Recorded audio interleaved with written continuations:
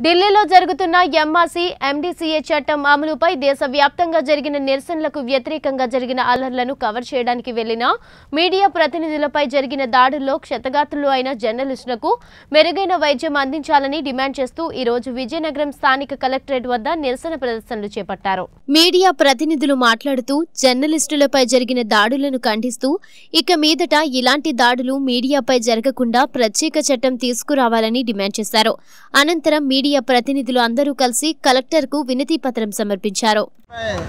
దాడులు జరిగాయి ఒక నిరసన కార్యక్రమాన్ని దేశ పౌరసత్వ సంబంధించి అక్కడ ప్రజలు నిరసన తెలియజేస్తున్న కార్యక్రమానికి కవర్ చేయడానికి వెళ్ళినటువంటి జర్నలిస్టుల మీద కొంత కొంతమంది అల్లరిమోకలు దాడులు చేశారు. మహిళా జర్నలిస్ట్ పైన అసభ్యకరంగా ప్రవర్తించడం మిగిలిన మీడియా వారి మీద చేసి గాయపరచడాన్ని తీవ్రంగా ఖండిస్తుంది. గాయపడ్డ వారికి ప్రభుత్వం ఎంతైనా మంచి సేవలు అందించాలి. అలాగే దాడులను అరికట్టడానికి కేంద్ర రాష్ట్ర ప్రభుత్వాలు సరైన చట్టాన్ని తీసుకురావాలని డిమాండ్ చేస్తున్నాం.